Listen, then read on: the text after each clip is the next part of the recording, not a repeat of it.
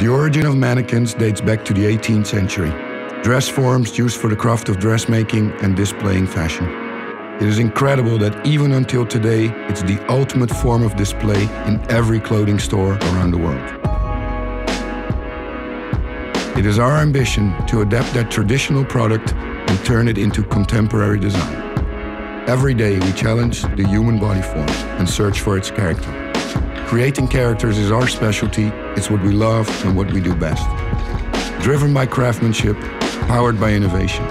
It is our goal to produce highly attractive and easy to use mannequins with great finishes and outstanding poses. We constantly study anything that can influence our mannequins. New store concepts, design and material innovations or production possibilities. We really do take the mannequin to another level where it has never been before. In the last 10 years, the retail world changed drastically. Also the challenges of the modern day designer Developing a bespoke mannequin range was traditionally a time and cost consuming process. With our current 3D possibilities, we can be more creative, faster and more cost efficient than ever before. We can realize a life-size proto in less than a week. Endless possibilities. Mannequins are a part of our everyday life. No matter where you're from or what lifestyle you live, you come across mannequins.